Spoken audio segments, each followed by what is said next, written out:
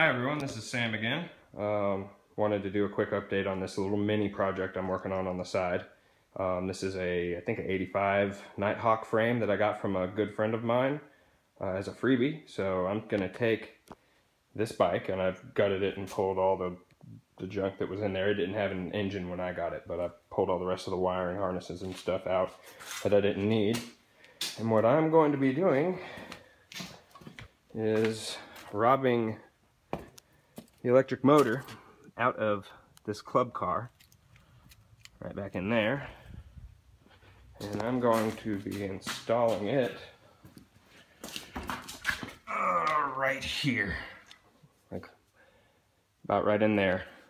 And that way that club car electric motor is going to spin the drive shaft and that rear end is already a 3.5 to 1 ratio. So it should have a decent amount of acceleration and top end.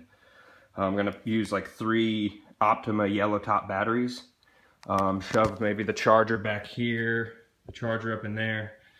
Um, put uh, the like electric, you know, normal foot motor controller down here and see if I can wire up a potentiometer to a throttle.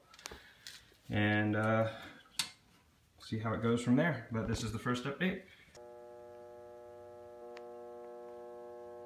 This is Sam again, just doing a quick video update for uh, what I got accomplished today. I've got the uh, 36 volt uh, golf cart motor. Um, I had to kind of cut around and reuse the existing transmission bell housing for the motor uh, that holds the bearing and I'm you know cut off all the excess and I'm gonna machine it down flat to where it's nice and clean looking but for now it's just testing but it's welded the little pinion arm thing that sticks out. It's welded directly into the CV joint, and the CV joint attaches uh, to the drive shaft through the rear wheel.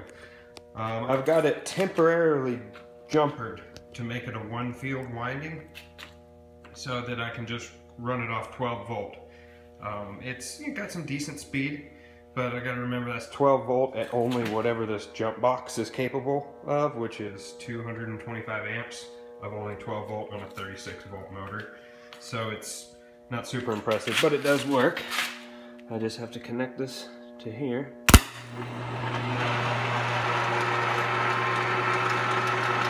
And there it goes, it's humming away.